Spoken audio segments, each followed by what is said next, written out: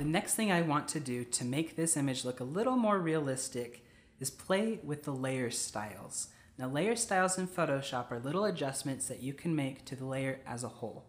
You can see on my construction paper how, because it's not exactly laying flat on the page, I get little shadows behind each of my elements.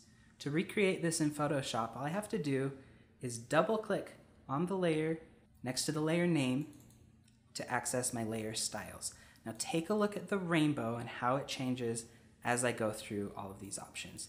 So we can bevel and emboss this layer. It makes it look like it's 3D. I'll uncheck that. We can add a stroke or just add an outline to the layer. I could add a shadow.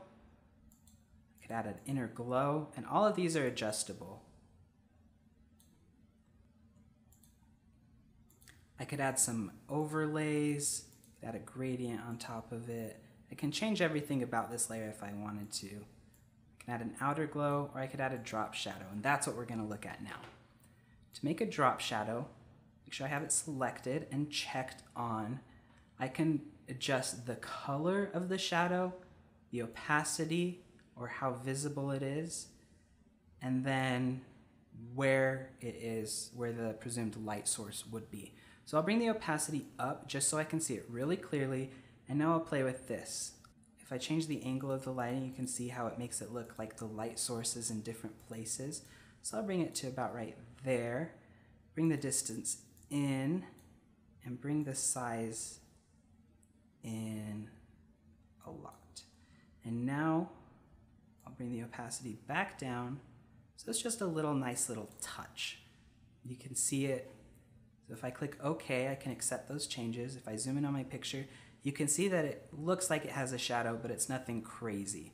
If I want to apply this same layer style to my other layers, all I have to do is where it says effects right here, right click, copy layer style, and then paste it on my other layers. Paste layer style. Now you can see it's changed that. Paste layer style. Now you can see I have a little shadow on my cloud. I can turn it on and off if I want to so you can see the difference. And now on my little cloud, paste layer style, my big tree, paste layer style. Just kind of adds another element. And now I can add it here to this group as a whole.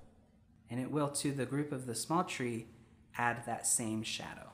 So there, that's our finished image. We don't exactly have a masterpiece in front of us, but hopefully this has been a good explanation of the different things we can do with layers in Photoshop.